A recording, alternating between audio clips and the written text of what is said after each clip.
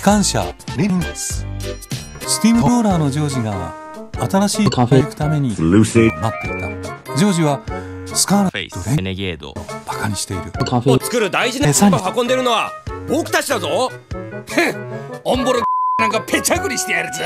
ジョージは古い視線を文句を言いながら運ばれた。彼の仕事は線路を道路に助けてくれ。カフェに着くとまた悪口が始まったボロい。シコシコ走りやがって。蒸気を吐くクズ鉄だって。あジョージは大いに楽しんでいた。マリファナ。ってな最高だね。とうとう作業員たちが古いカフェのところまでやってきた。そのまま突っ込んでダック。で舗装しろ。手抜き。もいいところだがジョージはお構いなしだ。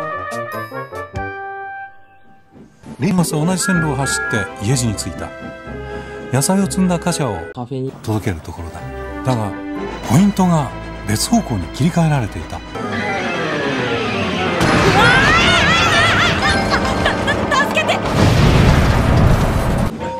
ゴードンは列車を取りに行った。その頃トップハマット卿は車を走らせていた。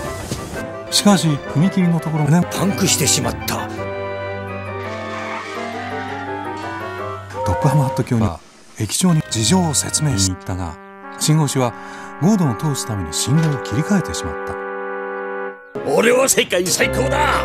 なんとか母のビナに間に合いたいんだが。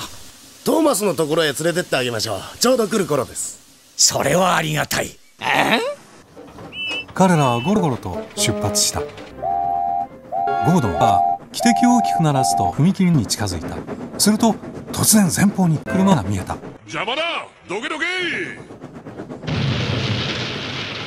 ゴードンは結局車を動かしたわけだ。事故のせいだったけどね。ジョージは線路沿いを楽しそうに走ったがさらにひどいことになった助けてくれ。何かがポッと折れた。ジョージが土手に突っ込むとトップハムハット卿がぬかるみに転げ落ちた。レイマスが水を補給しているそばだ